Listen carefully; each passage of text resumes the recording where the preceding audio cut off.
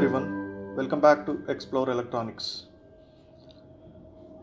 In this video, let's see the module 2 questions which are appeared in the model question paper of Introduction to Electronics Engineering subject.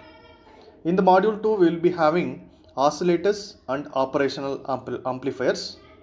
So the third question will be from module 2. It is on operational amplifiers. Here they have asked to sketch the circuit of each of the following based on operational amplifier that is differentiator and integrator. So you can see here this is the differentiator circuit.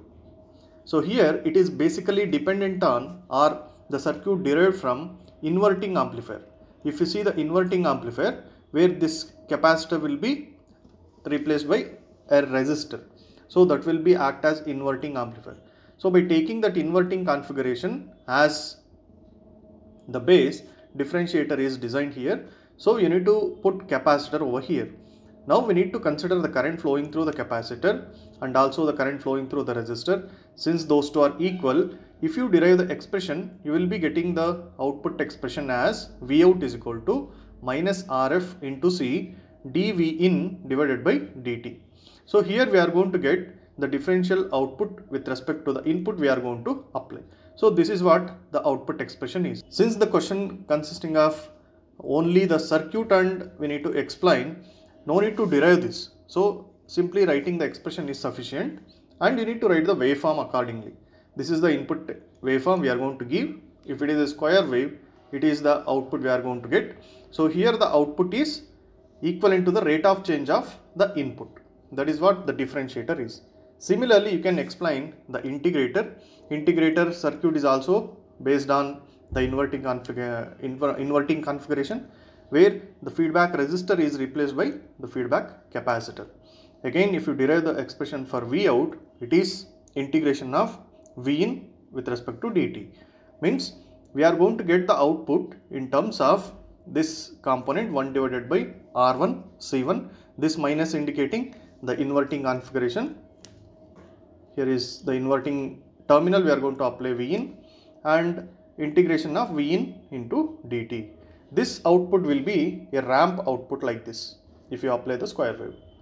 This much is sufficient for this question to get uh, this question is asked for 6 marks differentiator for 3 marks and integrator for 3 marks.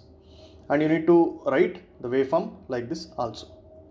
Then coming to the third B question, here it is again on op amp, they have asked to write, write a note on ideal characteristics of op amp. This question is very very important, many times it is repeated in examinations. So, so this question is very very important. Here you need to mention only the ideal op amp characteristics, they have not asked the practical op amp characteristics. Here I have listed out the practical values also. Why? Because it is better to study these values also. You may get question in exam to write ideal op amp characteristics as well as practical op amp characteristics. So here the output open loop gain is infinite. Input impedance that is the resistance at the input side is infinite for the ideal op amp and output impedance is 0. Offset voltage requirement is 0. Slew rate is infinite. Bandwidth is infinite common mode rejection ratio is infinite. You need to remember all these and my suggestion is that you need to remember the practical values also. If they are asked in the exam then only you need to write the practical values. Otherwise these values ideal op amp characteristics are sufficient for this question. Here 7 points, 7 to 8 points you need to remember. Each point carries 1 marks. Then it is 3C. Third question uh, C. It is on oscillator single stage astable oscillator circuit you need to explain the operation of that so this is the circuit of single stage astable oscillator. And here I have given the detailed explanation how actually the oscillations are going to be produced. You can see here this is the output wave we are going to get as continuous oscillation. You can explain this. Here the circuit carries 2 marks and explanation carries 5 marks. And I have made a video on this how to explain the working of this. You can go through that for the detailed understanding.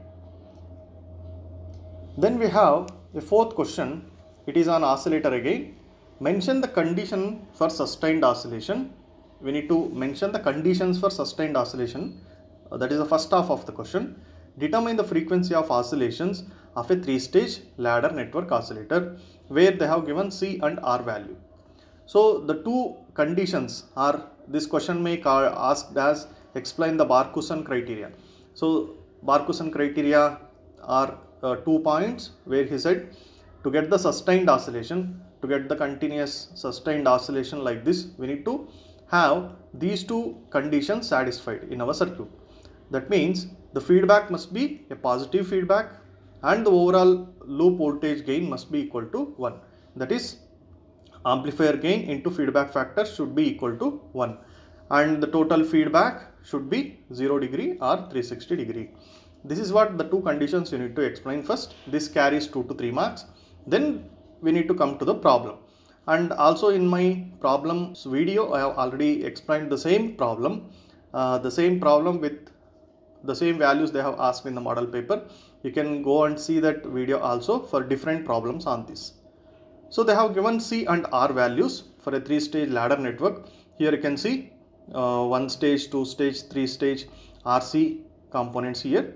So we will be having a formula F is equal to 1 divided by 2 pi root 6 RC for a three stage ladder network oscillator.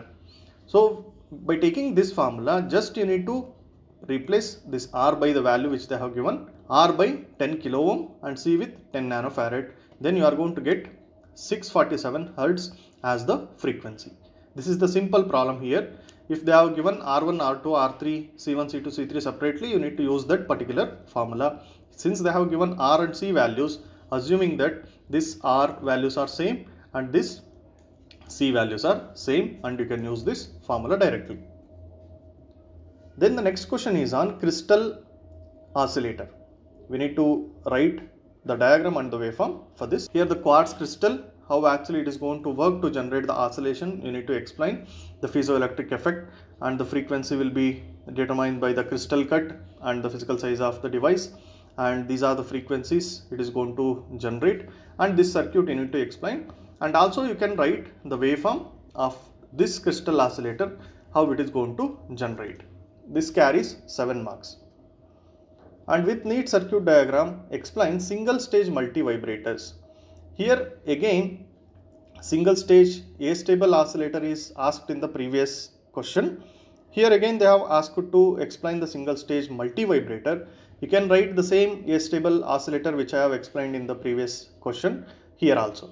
So since it is for 7 marks you can write the circuit again and also you can write the waveform accordingly and if you know any other explanation related to the single stage multivibrators you can write that this is making the answer simple just I put the same explanation here uh, which I have given for single stage stable oscillator in the previous question this is about module 2 questions in the model question paper in the next video let us see module 3 questions and the solutions also you can go through these playlists for better understanding.